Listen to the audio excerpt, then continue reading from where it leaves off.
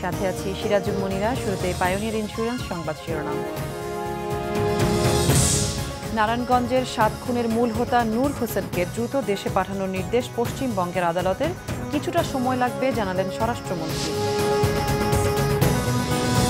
রাজন হত্যার মূল হোতা কামরুলকে কারাগারে প্রেরণ। সৌদিতে তাকে পালাতে সহায়তাকারীদেরও বিচার চান শিশুটির বাবা।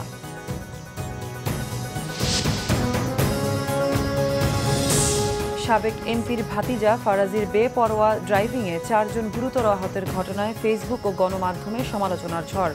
পুলিশের ভূমিকা রহস্যজনক। দুর্গাপূজাকে ঘিরে একটি মহলের ষড়যন্ত্রের অভিযোগ মন্ত্রীদের। নতুন যুক্ত ছিট মহলেও বিদ্বেষের রাজনীতি ছড়িয়েছে আওয়ামী লীগ, অভিযোগ বিএনপির। শুনছিলেন পায়নির ইন্স্যুরেন্স শিরোনাম। চায়ের সাথে এবারে বিস্তারিত সংবাদ। বন্দি প্রত্যর্পণ চুক্তি অনুযায়ী কলকাতায় আটক নারায়ণগঞ্জের চাঞ্চল্যকর সাত খুন মামলার প্রধান আসামি নূর হোসেনকে দ্রুত বাংলাদেশে পাঠানোর নির্দেশ দিয়েছে পশ্চিমবঙ্গের একটি আদালত। নির্দেশনা পাওয়ার পর দ্রুত তাকে ফিরিয়ে আনার আনুষঙ্গিক কাগজপত্র তৈরির নির্দেশ দেওয়া হয়েছে পুলিশকে। স্বরাষ্ট্রমন্ত্রী আসাদুজ্জামান খান কামাল জানিয়েছেন, কিছুটা সময় লাগবে। উত্তর চব্বিশ পরগনা জেলার বারাসাতের মুখ্য বিচারিক হাকিম সন্দীপ চক্রবর্তী শুক্রবার দুপুরে শুনানি শেষে নূর হোসেনকে যত দ্রুত সম্ভব বাংলাদেশে ফেরত পাঠানোর নির্দেশ দেন। সেই সাথে তাকে ফেরত পাঠানোর যাবতীয় প্রক্রিয়া শেষ করে আগামী পনেরো ডিসেম্বরের মধ্যে আদালতে একটি প্রতিবেদন জমা দেওয়ার আদেশও দেন তিনি। এ ব্যাপারে বারাসাত আদালতের সরকারি কৌশলী বিকাশ রঞ্জন দে জানান, বাংলাদেশে নূর হোসেনের বিরুদ্ধে গুরুতর অভিযোগ থাকায় তাকে নিজ দেশে ফেরত পাঠানোর নির্দেশ দেওয়া হয়েছে। আর এরই প্রেক্ষিতে পশ্চিমবঙ্গে তার বিরুদ্ধে দায়ের করা সব মামলা প্রত্যাহারও করা হয়েছে। তাকে আমাদের এইখানে যে ফরেনার্স অ্যাক্টের যে মামলা যেটা চলছে, তার থেকে তাকে উঠিয়ে তাকে নিষ্কৃতি দিয়ে এটা তার বাংলাদেশে তাকে হস্তান্তর করার ব্যবস্থা করার জন্য। ভারতের এ নির্দেশের খবরে সন্তোষ প্রকাশ করেছেন মামলার বাদী ও নিহত নজরুল ইসলামের স্ত্রী সেলিনা ইসলাম বিউটি। এ সময় নূর হোসেনের উপযুক্ত শাস্তি দাবি করেন তিনি। কার নির্দেশে করল? কীভাবে পরিকল্পনা করল? আর টাকা অর্থের যোগানদাতা কয়জনে মিল্লা করছে? র্যাবের সাথে আমার স্বামী শত্রুতা ছিল না। তাহলে র্যাবকে কে অর্ডারটা দিল? নূর হোসেনকে ফিরিয়ে আনার সেই মুহূর্তটির জন্য অপেক্ষায় রয়েছেন বলে জানিয়েছেন জেলা police super doctor Khandaker Mohiuddin. ওই দেশের আদালতের মাধ্যমে পরবর্তীতে সরকার তাদের যে উদ্যোগগুলো, সেগুলো যখনই তারা নিবে এবং আমাদের কাছে হস্তান্তরের জন্য বলব ডেফিনেটলি আমরা তাৎক্ষণিকভাবে সেটা ব্যবস্থা বাস্তবায়িত করছে। সড়ক পরিবহন ও সেতু মন্ত্রী ওবায়দুল কাদেরও বললেন তাকে ফেরত পাওয়া এখন সময়ের ব্যাপার মাত্র। জটিলতার জট খুলেই গেছে আদালতের একটা নির্দেশনা একটা ডিরেক্টিভসের অপেক্ষা রয়েছে। এটা এখন কেবল সময়ের ব্যাপার। গত বছরের সাতাশ এপ্রিল নারায়ণগঞ্জ থেকে সাতজনকে অপহরণের পর হত্যা করা হয়। ওই ঘটনায় দায়ের করা দুটি মামলার প্রধান আসামি কাউন্সিলর নূর হোসেন ঘটনার পরপরই ভারতে পালিয়ে যায়। পরে গত বছরের চোদ্দ জুন কলকাতার বাগুইহাটির একটি অ্যাপার্টমেন্ট থেকে দুই সহযোগী সহ তাকে গ্রেপ্তার করে পশ্চিমবঙ্গ পুলিশ। এরপর বাংলাদেশের পক্ষ থেকে তাকে দেশে ফেরত পাঠাতে ভারত সরকারকে অনুরোধ জানানো হয়। Shakila Sultana, Bangla vision news desk. সিলেটে আলোচিত শিশু রাজন হত্যার মূল হোতা কামরুলকে কারাগারে পাঠানো হয়েছে। এ মামলার শুনানি হবে রবিবার। কামরুলকে বিদেশে পালাতে সহায়তাকারীদেরও বিচার চান রাজনের বাবা। শুক্রবার সকাল এগারোটার দিকে কামরুলকে কারাগারে পাঠানোর আদেশ দেন সিলেট মহানগর হাকিম আদালতের বিচারক আনোয়ারুল হক। এ সময় আদালতের সামনে উপস্থিত ছিলেন রাজনের বাবা শেখ আজিজুর রহমান। কামরুলকে সৌদি পালাতে সহায়তাকারীদের খুঁজে বের করতে বিচার বিভাগীয় তদন্ত দাবি করেন তিনি। রে কেবা কারা যাওয়ার প্রক্রিয়া সহযোগিতা করছে। এদের বিচার বিভাগের মাধ্যমে তদন্ত শাস্তি আমি দাবি করতেছি। এর আগে সকালে করা নিরাপত্তায় কামরুলকে আদালতে হাজির করা হয়। শুনানির পর তাকে কারাগারে পাঠানোর পাশাপাশি রবিবার মামলার পরবর্তী তারিখ দেয় আদালত। সেদিন শেষ সাক্ষ্য দেবেন মামলার তদন্তকারী কর্মকর্তা গোয়েন্দা পুলিশের ইন্সপেক্টর সুরঞ্জিত তালুকদার। প্রধান আসামি কামরুলকে আদালতের গ্রেফতারি ভরনা বলে তাকে গ্রেফতার করে আজকে আদালতের আদেশ ক্রমে জেল হাজতে প্রেরণ করা হয়েছে। মামলায় তেরো আসামির দুজন শামীম ও পাভেল এখনও পলাতক। অভিযোগ উঠেছে তাদের গ্রেফতারে পুলিশের ব্যর্থতা নিয়ে। তবে পুলিশ বলছে তাদের গ্রেফতারের সব রকমের চেষ্টা চলছে। শামীম সেই কামরুলেরই ভাই তাকে আমরা গ্রেপ্তারের জন্য চেষ্টা চালিয়ে যাচ্ছি। ইতিমধ্যে তার সম্পত্তি আমরা ক্রোক করেছি। তাকে গ্রেপ্তারের জন্য আমাদের অভিযান অব্যাহত আছে। পাশাপাশি আরেকজন আসামি পাবেল, তার বাড়ি সুনামগঞ্জের দিরাই থানায় তাকে গ্রেপ্তার করার জন্য আমরা সেখানেও সর্বোচ্চ প্রচেষ্টা চালাচ্ছি। গত আট জুলাই সিলেটের কুমারগাঁওয়ে নির্মমভাবে পিটে হত্যা করা হয় ১৩ বছরের শিশু শেখ সামিউল আলম রাজনকে। ঘটনার দুদিনের মাথায় সৌদি পালায় কামরুল। সেখানে প্রবাসীদের হাতে আটকের প্রায় তিন মাস পর বৃহস্পতিবার সৌদি আরব থেকে ফেরত আনা হয় এই শিশু হন্তাকে। Bangla vision news desk. রাজধানীর গুলশানের কূটনৈতিক পাড়ায় এক সড়ক দুর্ঘটনাকে কেন্দ্র করে ফেসবুক সহ বিভিন্ন গণমাধ্যমে ঝড় উঠলেও বিষয়টি নিয়ে পুলিশের ভূমিকা রহস্যজনক। ওই দুর্ঘটনায় গুরুতর আহত হয় চারজন। গাড়িটি থানার হেফাজতে নিলেও গাড়ির প্রকৃত মালিককে এখনও খুঁজে বের করতে পারেনি পুলিশ। অভিযোগ উঠেছে, গাড়ির চালক নাবালক হওয়ায় তার বিরুদ্ধে মামলা হয়নি। তবে এই বিষয়ে কথা বলতে চাননি গুলশান থানার ভারপ্রাপ্ত কর্মকর্তা সিরাজুল ইসলাম। সোমবার বিকেলে গুলশান দুইয়ের চুয়াত্তর নম্বর সড়কে বেপরোয়া গতিতে গাড়ি চালিয়ে আহত করা হয় চারজনকে। তাদেরকে ভর্তি করা হয় হাসপাতালে। দুর্ঘটনার খবরটি ফেসবুকে আলোচনার ঝড় তোলে। পাশাপাশি গণমাধ্যমেও খবরটি গুরুত্ব সহকারে প্রচার করা হয় পরের দিন থেকে। কিন্তু সুরক্ষিত কূটনৈতিক পাড়ায় এরকম একটি ঘটনা নিয়ে রহস্যজনকভাবে নীরব পুলিশ। এ বিষয়ে গুলশান থানার ভারপ্রাপ্ত কর্মকর্তা ক্যামেরায় কথা পর্যন্ত বলতে চান না। নিলে আমাদের সাক্ষাৎকার ক্যামেরায় কথা না বললেও পুলিশের পক্ষ থেকে জানানো হয় গাড়িটি জব্দ করা হয়েছে। আর দুর্ঘটনার সময় গাড়ির চালকের আসনে থাকা সাবেক MP doctor H B M ইকবালের কিশোর ভাতিজা ফারাজুর রহমানের বিষয়ে কেউ অভিযোগ না করায় মামলা নেওয়া হয়নি। আহত একজনের স্ত্রী টেলিফোনে জানান তার স্বামীর অবস্থা গুরুতর। ও নাকি রিক্সায় ছিল? আর ওই প্রাইভেট কার পিছন থেকে ধাক্কা দিছে। প্রিমিয়াম ব্যাংকের কি মালিকের ছেলে নাকি যেন আর কোন মন্ত্রী সংসদ সদস্যের মনে হয় বাচ্চা সম্ভবত। চুয়াত্তর নম্বর সড়কে এই জায়গাটিতে ঘটে দুর্ঘটনা। পড়ে থাকা এই ল্যাম্প পোস্টটি বলে দিচ্ছে গাড়ির গতি কীরকম ছিল? যেভাবে মানে অ্যাক্সিডেন্ট হয়েছে আপনার গাছটা যদি না থাকতো যে গাছে মানে বেশি হয়েছে তাহলে ওই পাশের ওই যে ওয়াল ওয়াল ভেঙে ওই আরেক ওই বাড়ির ভিতরে ঢুকে যেত। এই ওখানে দুইটা রিক্সার একটা লিয়ে নিয়ে ঢুকাইছে। শব্দ হয়েছে চতুর্দিক থেকে লোকজন আইছে।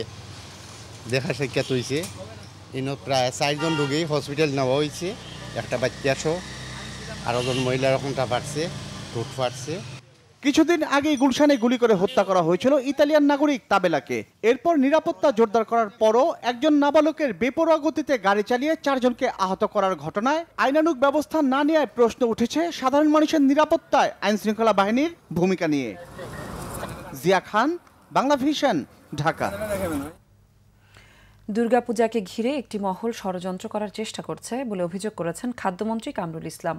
আর ত্রাণমন্ত্রী মোফাজ্জল হোসেন চৌধুরী মায়া বলেছেন পূজার সময় যাতে কোনো ধরনের নাশকতা না হয় সেজন্য দলীয় নেতাকর্মীদের সজাগ থাকতে হবে।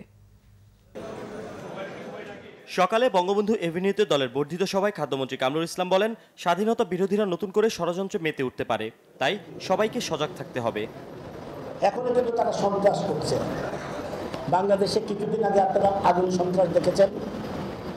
ষড়যন্ত্র দেখেছেন কিছুদিন আগে দুজন বিদেশিকে হত্যা করা। দেশকে অস্থির করার ষড়যন্ত্র একটা গভীর ষড়যন্ত্রে এই গোষ্ঠী লিপ্ত। বর্ধিত সভায় মোফাজল হোসেন চৌধুরী মায়া বলেন বেগম খালেদা জিয়া ও তার ছেলে নতুন করে দেশের বিরুদ্ধে ষড়যন্ত্রের জাল বুনছে। কোনো নাশকতা করে ক্ষমতায় যাওয়া যাবে না বলেও হুঁশিয়ারি দেন ত্রাণমন্ত্রী মায়া। ষড়যন্ত্র কিন্তু থেমে নাই। মা ছেলে দুইজন এখনও লন্ডনে বসা। চিকিৎসার নাম বলে দুজন চিকিৎসা ষড়যন্ত্র করছে। তখন ষড়যন্ত্র খেলা আপনার শেষ। আপনার পিছনে কোনো মানুষ নাই দেশও নাই বিদেশও নাই। শুভ উদ্বোধন ঘোষণা করছি। অন্যদিকে তথ্যমন্ত্রী হাসানুল হক ইনু বলেছেন দেশে ফেরার পর বেগম খালেদা জিয়ার কার্যক্রমই বলে দেবে তার ভবিষ্যৎ কি। সুনামগঞ্জে তিন দিনব্যাপী হাওর উৎসবের উদ্বোধনী অনুষ্ঠানে এ মন্তব্য করেন তিনি। বাংলাদেশকে বাংলাদেশের পথ থেকে হটিয়ে দিয়ে পাকিস্তান, আফগানিস্তানের পথে, অন্ধকারের পথে নিয়ে যাওয়ার চক্রান্ত করছে। সেই চক্রান্তেরই একটা বিশেষ রূপ আপনারা সাম্প্রতিককালে বিদেশি হত্যা দেখেছেন। ইতিমধ্যেই বিএনপি জামাতের সম্পৃক্ততা কিছুটা পাওয়া যাচ্ছে। সানজিদ আহমেদ বাংলা ভিশন ঢাকা। দেশের মানচিত্রে নতুন যুক্ত হওয়া ছিটমহলেও আওয়ামী লীগ হিংসা, বিদ্বেষ ও ঘৃণার রাজনীতি ছড়িয়েছে বলে অভিযোগ করেছে বিএনপি। বেগম খালেদা জিয়া বিদেশে বসে চক্রান্ত করছেন। প্রধানমন্ত্রীর এমন বক্তব্য রাজনৈতিক শিষ্টাচার বর্জিত বলেও অভিযোগ তাদের। নয়াপল্টন দলীয় কার্যালয়ে সংবাদ সম্মেলনে বিএনপির আন্তর্জাতিক বিষয়ক সম্পাদক আসাদুজ্জামান রিপন অভিযোগ করেন, বিএনপি ও বেগম জিয়া সম্পর্কে ধারাবাহিকভাবে কাল্পনিক মন গড়া বক্তব্য দিচ্ছেন প্রধানমন্ত্রী সহ সরকারের মন্ত্রীরা। তিনি বলেন, দেশের সংকটে বিএনপির জাতীয় ঐক্যের আহ্বানকে আমলে না নিয়ে বরং হানাহানির বিষ বাষ্প ছড়াচ্ছেন ক্ষমতাসীনরা। সম্প্রতি বাংলাদেশের মানচিত্রে যুক্ত হওয়া। সাবেক ছিটমহলের নবীন নাগরিকদের কাছে যে গতকাল আওয়ামী লীগ সভানেত্রী হিংসা বিদ্বেষের ঘৃণার রাজনীতি ছড়িয়ে দিয়েছেন। বাংলাদেশের সব নবীন নাগরিকগণ হিংসাশ্রয়ী রাজনীতির বাইরে এতদিন থাকলেও গতকাল আওয়ামী লীগ সেখানে তা বিস্তৃত করল। এদিকে মুক্তিযুদ্ধ ও জিয়াউর রহমান শীর্ষক এক আলোচনায় বিএনপির স্থায়ী কমিটির সদস্য নজরুল ইসলাম খান বলেন, সরকার দল সমর্থক দলকানা কিছু বুদ্ধিজীবী নানাভাবে খাটো করছেন প্রয়াত এ রাষ্ট্রনায়কের অবদান। আওয়ামী লীগ মুক্তিযুদ্ধের চেতনা নিয়ে রাজনীতি করছে আর জিয়াউর রহমানের সব অবদান মুছে ফেলতে নানা ষড়যন্ত্র করছে। জিয়াউর রহমান নাকি পাকিস্তানের চর ছিলেন। জিয়াউর রহমান মুক্তিযোদ্ধা ছিলেন না। আরে ভাই, জিয়া রহমান মুক্তিযোদ্ধা না হলে বাংলাদেশে একটাও মুক্তিযোদ্ধা নাই। একটাও নাই মুক্তিযোদ্ধা যদি জিয়া রহমান না হয়। যিনি স্বাধীনতা ঘোষণা করলেন, ওই দিন থেকে লড়াই করলেন পাকিস্তানিদের সঙ্গে এবং যুদ্ধের শেষ দিন পর্যন্ত লড়াই করেছেন ময়দানে থেকে। সেই মুক্তিযোদ্ধা না হইলে ওই কলকাতার হোটেলে যারা আরামায়াস করছে তারা মুক্তিযোদ্ধা নাকি? তাহলে তারা তাদের নেতার প্রতি তো অশ্রদ্ধা পোষণ করল তারা। যে তাদের নেতা একজন পাকিস্তানি চরকে বীর উত্তম খেতাব দিছে। অন্যদিকে doctors association of Bangladesh DAB নেতা ডাক্তার এম এ হাদির মৃত্যুবার্ষিকীর আলোচনায় বক্তারা বলেন সবার ঐক্যবদ্ধ আন্দোলনের মধ্য দিয়েই দেশে গণতন্ত্র ফিরিয়ে আনা হবে। মিজানুর রহমান সবুজ বাংলা ভিশন ঢাকা। ক্রিকেট। দু হাজার সতেরো সালের আগে বাংলাদেশে আসছে না অস্ট্রেলিয়া ক্রিকেট দল। তবে নিরাপত্তার অজুহাতে সফর স্থগিত করায় দুঃখ প্রকাশ করেছে ক্রিকেট অস্ট্রেলিয়া। আইসিসি সভা থেকে দেশে ফিরে শুক্রবার এসব কথা জানিয়েছেন বিসিবি সভাপতি। এদিকে নভেম্বরের প্রথম সপ্তাহে টি টোয়েন্টি ও ওয়ানডে সিরিজ খেলতে বাংলাদেশে আসছে জিম্বাবুয়ে। ওরা বলছে যে অবশ্যই আমাদের এটা তারা কম্পেনসেট করে দিবে এবং আগের চেয়ে বেশি দিবে। এখন সমস্যাটা হচ্ছে অস্ট্রেলিয়ার যদি আপনি ট্যুর প্রোগ্রাম দেখেন, ওদের কিন্তু একদম সময় নেই। ভেরি টাইট স্কেজুল সো দুটো টেস্ট খেলতে আসতে গেলে দুই হাজার ষোলো শেষে অথবা সতেরোর আগে ওরা টেস্ট নাও হয়। ওডিআই খেলা যায় কিনা বা টি টোয়েন্টি খেলা যায় কিনা ওরা যে আমাদের এখানে আসবে এটা প্রমাণ করার জন্য বা আসতে ইচ্ছুক সেটা ওরা দেখবে বাট এটা এখন পর্যন্ত কনফার্ম কোনো আলাপ আজিমপুরের ছোটমণি নিবাসে পারিবারিক আবহাওয়ায় ভালোই দিন কাটছে কুকুরে কামড়ানো পরিচয়হীন শিশু ফাইজা ওরফে বিজয়িনীর। সমাজসেবা অধিদপ্তরের এই নিবাস থেকে তার দায়িত্ব নিতে আগ্রহ জানিয়েছে দেশি বিদেশি অনেকে। Twinkle, twinkle, little star, how I wonder what you are. চোখের কোণে অন্যরকম এক মায়াবী গভীরতা চোখ পড়লেই দৃষ্টি আটকে যায়। গভীরে চোখ জোড়ায় এখনও যেন বিস্ময়। কে বাবা, কে মা? কোথা থেকে কোথায়? শেষ গন্তব্যই বা কোথায়? পরিচয় না পেলেও অবশেষে শিশুটি পেয়েছে একটি নাম, বিজয়িনী। বাবার আদর আর মায়ের কোল না পেলেও ছোটমণি নিবাসে পেয়েছে ছাব্বিশটি ভাই বোন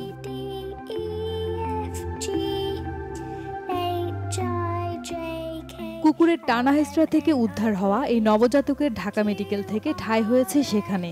পরানো হয়েছে নতুন জামা। দেয়া হয়েছে তুলতুলে বিছানা। কাঁদলে কোলে তুলে নিচ্ছে কেউ না কেউ। আমাদের সর্বোচ্চ সতর্কতা বা সেবায় ওকে রাখছে, কিন্তু আবহাওয়ার পরিবর্তনের জন্য হয়তো একটু হাঁচি হয়েছে এই।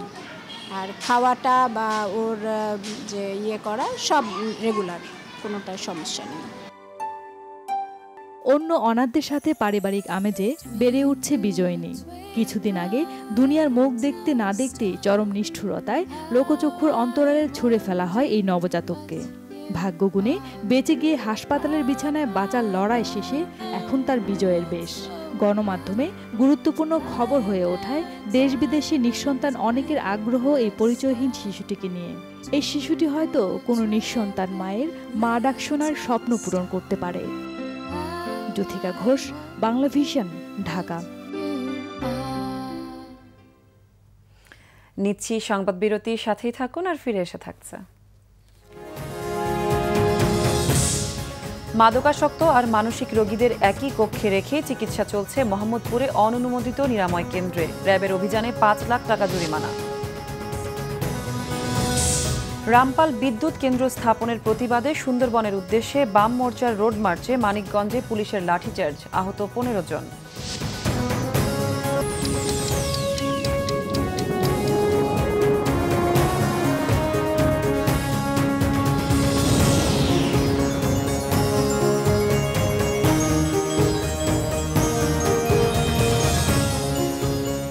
স্বাগত আরেকবার বাংলা ভিশন সংবাদে। স্বাস্থ্য অধিদপ্তরের কোনো অনুমোদন নেই। একই কক্ষে রাখা হয়েছে মাদকাসক্ত ও মানসিক রোগীদের। কোনো কারণ ছাড়াই চলে রোগীদের বেদম প্রহার। রাজধানীর মোহাম্মদপুরে এমন পরিবেশে চলছে মাদকাসক্ত নিরাময় কেন্দ্রের চিকিৎসা সেবা। শুক্রবার সকালে কয়েকটি বেসরকারি হাসপাতালে অভিযান চালিয়ে কর্তৃপক্ষের বিরুদ্ধে পাঁচ লাখ টাকা জরিমানা করেছে র্যাব। মোহাম্মদপুরের নবাব সিরাজউদ্দৌলা মাদকাসক্ত ও মানসিক হাসপাতাল। হাসপাতালের দেয়াল জুড়ে ছারপোকা মারার দাগ রোগীর বিছানা থেকে শুরু করে সর্বত্র এই পোকার দৌরাত্ম। এখানে একই কক্ষে রাখা হয়েছে মাদকাসক্ত ও মানসিক রোগীদের। পান থেকে চুন খসলেই হাত পা বেঁধে রোগীদের ওপর চলে বেদম প্রহার। কোনো কিছু করলে খুব মারধর করে কথায় কথায় মারে আমাদের খাওয়া দেয় খারাপ খাওয়া দেয়। হ্যাঁ রাখে সব জায়গায় রাখে কেউ খায়। রোগীর শরীর থেকেই নাকি পুরো হাসপাতাল জুড়ে ছারপোকা ছড়িয়ে পড়েছে এমন দাবি প্রতিষ্ঠানটির মালিকের। যখন বান্ধে আনে তাদের গায়ে চাপ পোকা থাকে। মানুষের শরীর থেকেই হয়। গত জুন মাসে স্বাস্থ্য অধিদপ্তরের দেয়া অনুমোদনের মেয়াদ শেষ হয়ে গেলেও তার নবায়ন করা হয়নি। ছাপ্পান্ন জন রোগীর জন্য রয়েছে মাত্র চারজন নার্স। নেই কোনো চিকিৎসক। ছোট্ট একটি কক্ষে গাদাগাদি করে রাখা হয় ছয় থেকে সাতজন রোগী। পারিবারিক কলহের কারণেও অনেককে জোর করে ভর্তি করানো হয় মানসিক রোগী সাজিয়ে।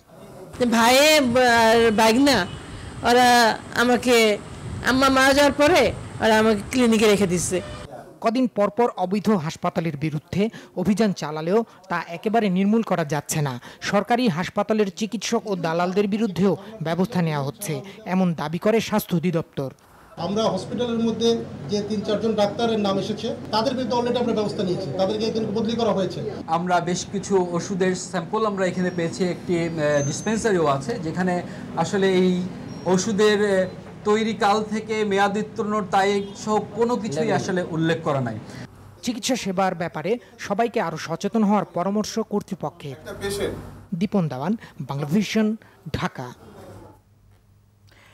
সুন্দরবন ধ্বংস করে বাংলাদেশে কোনো প্রকল্প বাস্তবায়ন করতে দেয়া হবে না বলে হুঁশিয়ারি দিয়েছে গণতান্ত্রিক বাম মোর্চা। শুক্রবার সকালে জাতীয় প্রেস ক্লাবের সামনে থেকে সুন্দরবনে রামপাল বিদ্যুৎ কেন্দ্র স্থাপনের প্রতিবাদে ঢাকা থেকে সুন্দরবনের উদ্দেশ্যে রোড মার্চ পূর্ব সমাবেশে বক্তারা এমন হুঁশিয়ারি দেন। এ সময় তেল, গ্যাস, বিদ্যুৎ বন্দর রক্ষা জাতীয় কমিটির সদস্য সচিব অধ্যাপক আনু মোহাম্মদ বলেন, ভুল তথ্য দিয়ে সুন্দরবনে রামপাল বিদ্যুৎ কেন্দ্র স্থাপন, স্থাপনে গ্রাম এলাকা দেখিয়ে পরিবেশ সমীক্ষা করা হয়েছে যা অসত্য ও বিভ্রান্তিকর। প্রধানমন্ত্রী এক হাতে সুন্দরবনের মৃত্যু পরোয়ানা, আরেক হাতে পরিবেশ বিষয়ক পুরস্কার চ্যাম্পিয়ন অব দ্য আর্থ নিয়ে দাঁড়িয়ে আছেন, যা গ্রহণযোগ্য নয়। এ সময় বক্তারা আরও বলেন, সুন্দরবনে এই প্রকল্প চালু হলে কয়েক লাখ উদ্বাস্তু তৈরি হবে। পরে রোড মার্চটি প্রেস ক্লাবের সামনে থেকে সুন্দরবনের উদ্দেশ্যে যাত্রা করে। বিকেলে লং মার্চটি মানিকগঞ্জের মুক্তিযোদ্ধার স্মৃতিস্তম্ভের সামনে সমাবেশ করতে চাইলে বাধা দেয় পুলিশ। নেতাকর্মীরা এর প্রতিবাদ করলে লাঠিচার্জ করে তারা। এতে আহত হন অন্তত পনেরো জন। এবার আমিন জুয়েলার্স আন্তর্জাতিক সংবাদ।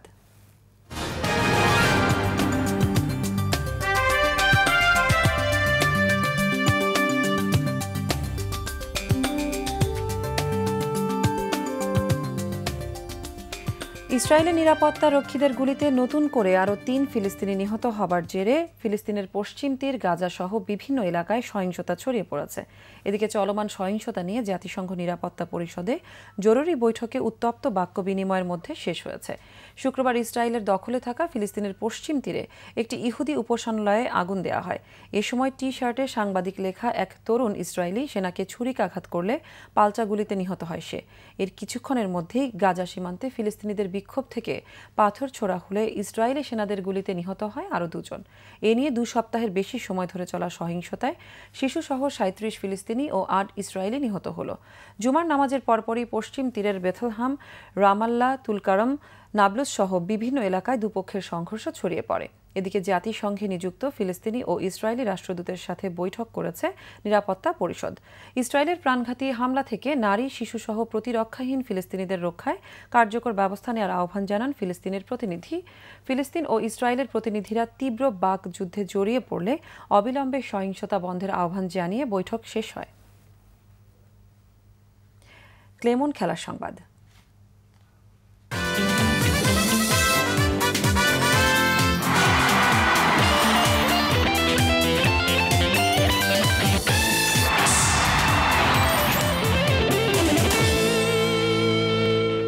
ফুটবল।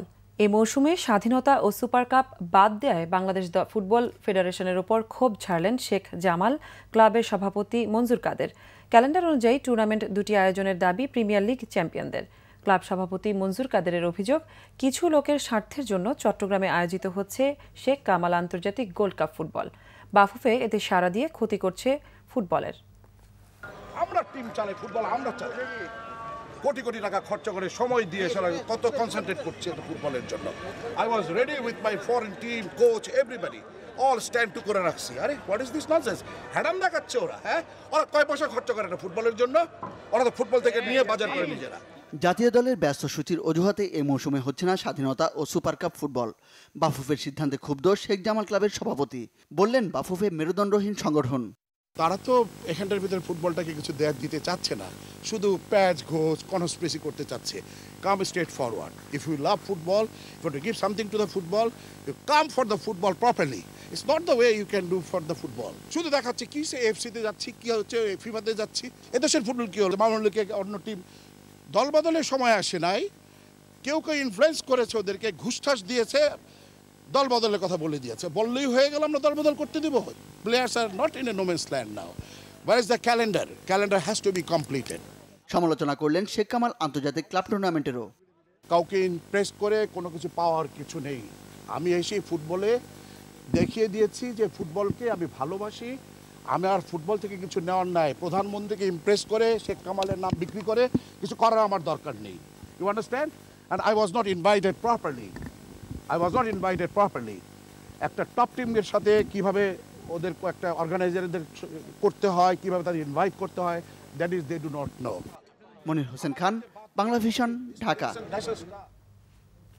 সংবাদ শেষ করব। পায়োনিয়ার ইন্স্যুরেন্স সংবাদ শিরোনামগুলো আরেকবার জানিয়ে। নারায়ণগঞ্জের সাত খুনের মূল হোতা নূর হোসেনকে দ্রুত দেশে পাঠানোর নির্দেশ পশ্চিমবঙ্গের আদালতের কিছুটা সময় লাগবে জানালেন স্বরাষ্ট্রমন্ত্রী। রাজন হত্যার মূল হোতা কামরুলকে কারাগারে প্রেরণ। সৌদিতে তাকে পালাতে সহায়তাকারীদেরও বিচার চান শিশুটির বাবা।